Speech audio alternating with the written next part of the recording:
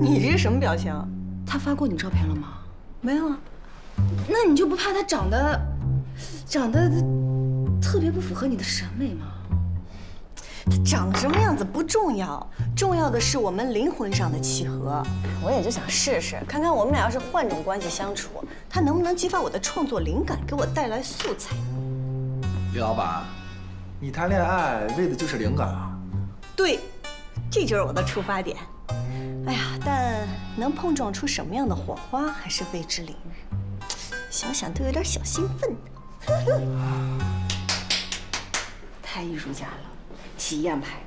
哎呀，过奖了，过奖。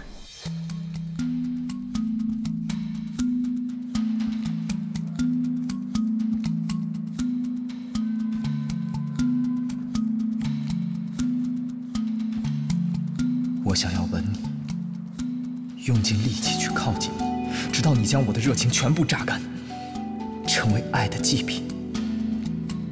只有你，才能扑灭我的火，我心中的和手心里的火。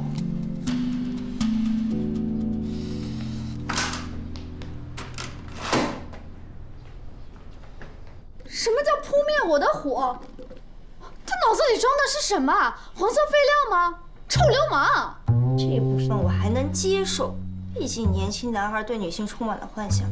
但是他的微博里有很多对死亡的注解，还说什么消亡是浪漫的永恒之美。之前还有一幅作品是致敬了马拉之死。李尖尖，你确定他的心理状况没有问题吗？这不很正常吗？他是雕塑设计师，他对美和生命有自己的理解。那他也开工作室？他不做流水线，他只做艺术品。哦，拍卖的那种？不不不，他不卖，他只参赛。他以后是想要成为著名的雕塑大师，就是把作品放到艺术馆的那种。所所以他是没工作吗？这不是工作吗？不挣钱叫什么工作呀？他靠什么生活呀？啃老啊？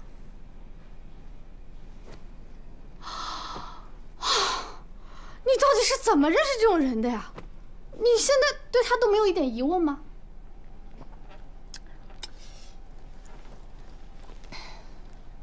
我的哥哥们为什么会在这里呀？我不同意。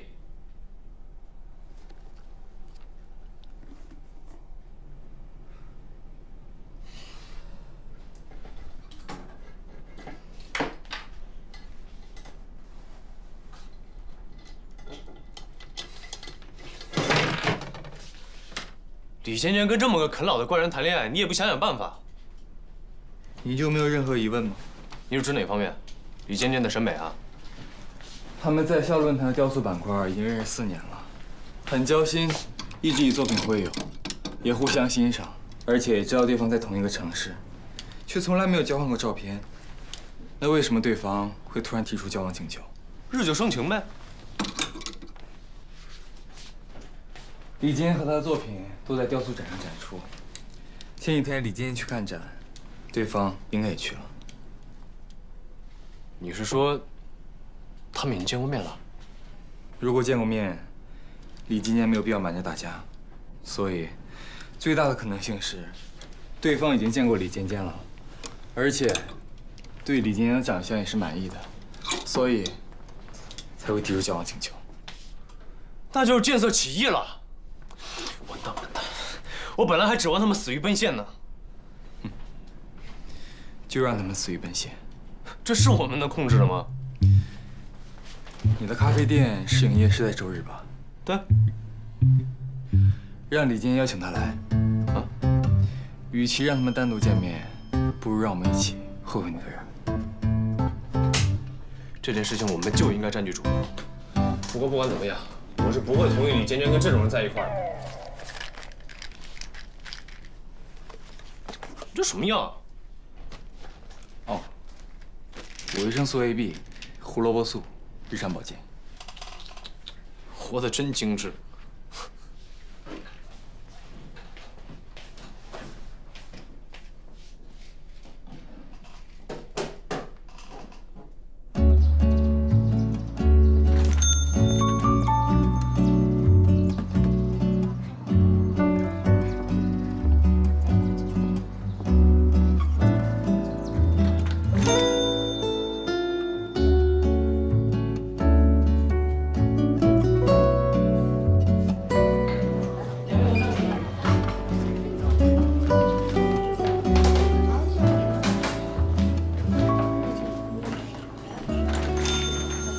欢迎光临。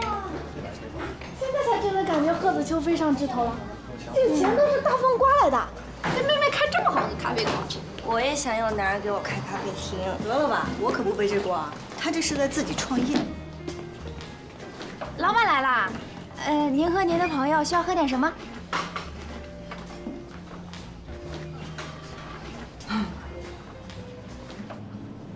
嗯，以后我们可以免单吗？当然啦，既然李仙坚是这儿的老板，那我们就是老板闺蜜，收钱像话吗。嗯，我以后就经常在这儿谈生意了。嗯，哇，这儿的服务生好帅啊！赶紧拍几张。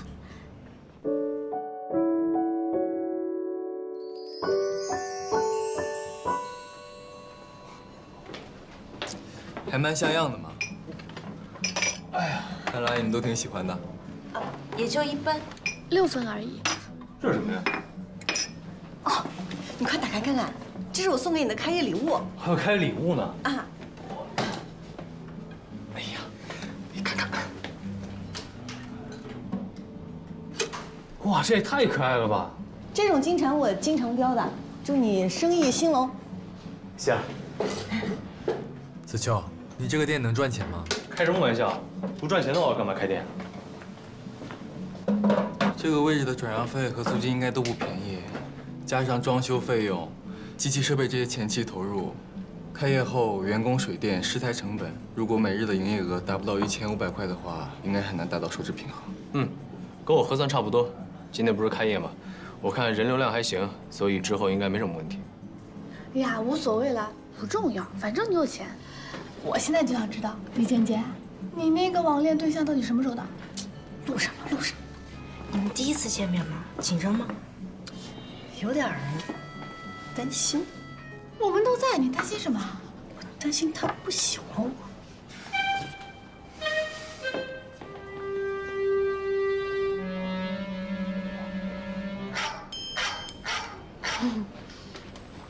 喂，然，到了吗？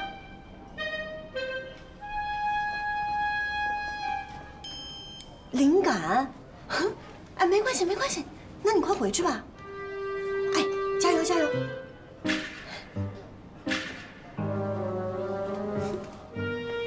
怎么了？他在来的路上有了灵感，然后就回去和泥去了。你们俩第一次见面，他竟然回去和泥了。灵感嘛，那可遇而不可求，人是随时都能见的呀，是吧？那既然人不来了，咱们就吃蛋糕吧。吃蛋糕，吃蛋糕，看起来还不错呀，这个蛋糕。吃蛋糕，吃蛋糕。哇，小哥你做的好好哦。那你们慢点啊。啊，对了，尖尖，晚上小哥给你带蛋糕啊。啊啊，再见，好，拜拜拜。好，走。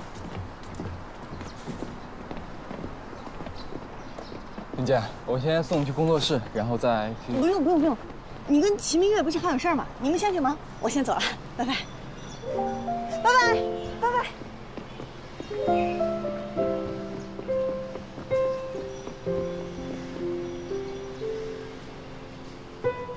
我们走吧。